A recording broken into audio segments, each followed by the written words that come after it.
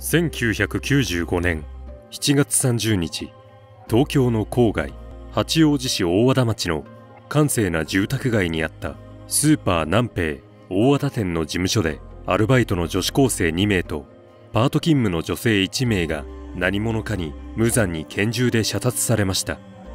市民が日常利用するスーパーで暴力団など特定の反社会的勢力のみが使用してきた拳銃によって無抵抗の女性3名が射殺された事件は市民の安全意識を根底から揺るがすものとして日本中を震撼させました。令和3年5月現在でもまだ犯人の特定はされず警視庁で未解決事件として捜査が継続されています。スーパー南平大和田店は JR 八王子駅から約 2km 離れた場所にあり周辺は国道20号線など幹線道路が縦横に走行し住宅と工場が混在している地域です。7月30日は非常に蒸し暑い日で近所の公園では盆踊りが開催されていました。スーパー南平はシフト制勤務をとっており犯行が行われた夜の時間帯はパートの稲垣典子さんとアルバイトの矢吹めぐみさんの2人が勤務していました。稲垣さんは南平大和田店のリーダー格で売上金の出納も任されていました。閉店時間の午後9時過ぎに矢吹さんがレジから売上金をトレーごと抜き取り外の非常階段を通って2階事務所で待っていた稲垣さんへ渡したと思われます。稲垣さんは売上金を金庫へ納めダイヤル錠で施錠しました。スーパー南平は日頃から売上金をむき出しのまま人目につく外階段を通って2階の金庫へ保管するという方法をとっており稲垣さんも周囲の人たちも不用心だと心配の声を上げていました。そのため空き巣によく狙われていたそうです。にもかかわらず防犯面を強化しようという姿勢が見られなかった南平の営業方針に疑問が残ります。閉店後の2階事務所には稲垣さんと矢吹さんこの日は非番でしたが矢吹さんと遊びに行くため待ち合わせで事務所に立ち寄っていたアルバイトの前田博美さんの3人がいました。21時6分頃稲垣さんが知人の男性 M 氏に迎えに来てもらうよう電話しその後店内のセキュリティシステムの施錠を完了し3人は事務所を出て帰宅しようとしたところまさに犯人と鉢合わせになり拳銃で脅されながら事務所へ押し戻されたのではないかと思われます。それが21時16分頃です。犯人の行動はそこから信じられないほどの素早さで展開しました。侵入から殺害逃走までわずか56分足らずだったのです。21時17分頃スーパー近くにいた高校生男女が花火が弾けるような音を聞いたと証言しています。ちょうど3人が撃たれた時ではないでしょうか。稲垣さんの知人男性 M 氏は車で南平事務所前に21時20分頃に到着し25分近く待っても誰も出てこないので一旦2人で向かう予定の小料理屋へ行きました。しかし店にも稲垣さんはいなかったので店の女将を伴って再び南平へ向かいます。そして22時頃に事務所内で3人の射殺体を発見することになりました。稲垣さんは事務所奥にある金庫の横にもたれかかって倒れていました。頭部を2発撃ち抜かれ腕や上半身の一部に皮下出血の跡があるなど執拗に暴行された形跡がありました。2名の女子高生は背中合わせにされガムテープで口や手足を縛られた状態で頭部を一発ずつ撃ち抜かれ即死でした。現場の床に流れた血のりに犯人らしき足跡が全く残されていなかったことから犯人は事務所内を荒らすことなくほぼ金庫から出入り口へ一直線で移動したと思われます。この点から内部の事情に詳しい者の犯行かと思われました。銃弾は計5発発射され4発は被害者3名へ撃ち込まれ残り1発は金庫めがけて撃たれていました。犯人は21時16分に事務所に押し込み何時に事務所から去ったのでしょうか。M 氏が迎えに来た21時20分頃にはまだ事務所内に潜んでいたのではないでしょうか。外に人の気配を感じたので立ち去るまで待ち21時45分から M 氏が戻る22時の間に事務所から去ったと思われます。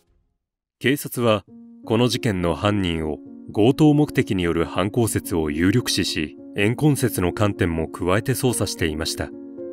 まず、現金強盗説としては、南平の現金管理がずさんであったこと、日曜日が最も売り上げが大きいこと、事務所内部のレイアウトを熟知していた節があること、金庫に鍵が差し込まれたままになっていたこと、日中から店内を見張るような不審者の目撃情報があったことなどから強盗説が有力視されました。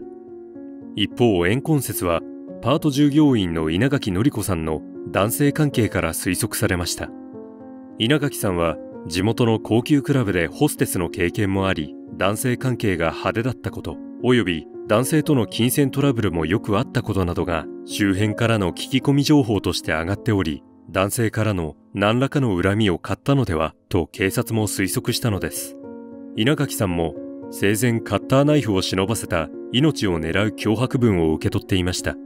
恨みのある男性が殺し屋を雇って殺させ、金庫からも金を盗み出させようとした。もしくは、金庫目当ては実行犯の単独行動だった可能性もあります。犯人はどのような連中だったのか、推定される犯人像として4つのケースが挙げられています。2001年11月の週刊誌の報道で、交流中の暴力団関係者が南平事件の実行犯は、元自衛官であると実名を書いた手紙を他の拘置所の知人に出したものという内容の記事が掲載されましたが、結局根拠なしとしてそれ以上進展はありません。2003年に一部マスコミが報道したものですが、根拠は所持していた拳銃がフィリピン製のコルトの模造銃で、戦場痕が酷似していたこと、事件当時、八王子に住んでいたことなどが挙げられましたが、それ以上南平事件と結びつけるものが弱かったため、この説は消えました。2009年夏頃、中国において、覚醒剤所持容疑で逮捕・起訴され、死刑判決が確定した日本人の男が南平事件の情報を知っていると中国公安局に話し、日本警察へこの件が伝わりました。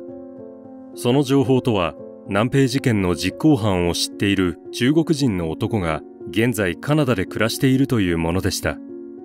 日本人死刑囚は日中混成強盗団のリーダー格であったことから情報の信憑性は高いと思われました。警察の捜査員はカナダまで飛び、カナダ政府を通じて中国人男性を日本へ強制送還させ取り調べを行いましたが結局男の口から南平事件の自白を得ることはできませんでした。2015年2月、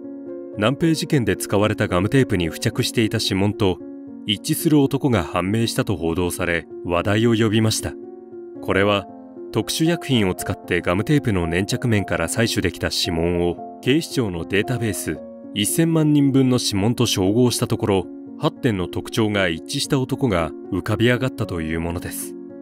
8点が一致する確率は1億人に1人と言われているためかなり有力視されましたが司法当局が要求する証拠として12点の一致に至らなかったため完全な証拠として採用することはできませんでした。この男は2005年頃にすでに死亡していたのですが南平事件当時八王子に居住していたことや息子の交通事故の賠償金で金に困っていたこと。盆栽の窃盗容疑で逮捕された前科があることなどから捜査線上には浮かんでいたのですが事件当日タイムカードによる勤務時間が記録されておりアリバイが成立したため実行犯ではなかったという見方が強まりました。使用された拳銃はフィリピン製の改造銃スカイヤーズ・ビンガムという38口径ですが暴力団の間で出回っていたものです。所持していた暴力団組員もおり交友関係も調査されましたが有力情報はありません。また入手ルートからフィリピンの製造元へ線状痕データの照合から入手経路が割り出せないか調査されましたが有力情報は公開されていません。事件発生の21時頃には南平の駐車場で若い男女のカップルの買い物帰り姿が防犯カメラで捉えられておりこの2人が犯人を目撃していないか調査しましたがこのカップルの身元は判明していません。事件当日昼間から周辺で駐車された白い車に乗った男の姿が目撃されておりこの男が事件に何らかの関わりがあるのではないかと見られています。複数犯ならば見張りと実行犯が犯行後すぐに車に乗り込んで逃走できるように車を待機させていた役目だったのか様々な謎が未だ解明されていません。殺人事件の時効が撤廃され現在でも捜査は継続されています。警視庁の正式事件名称は大和田町スーパー事務所内拳銃使用強盗殺人事件といい有力情報提供者には最大300万円の報奨金制度が設けられています。事件から26年近く経過した現在新たな有力情報が提供されることは難しいかもしれませんが被害者3名の無念を晴らすためにぜひ真犯人が検挙されることを願います。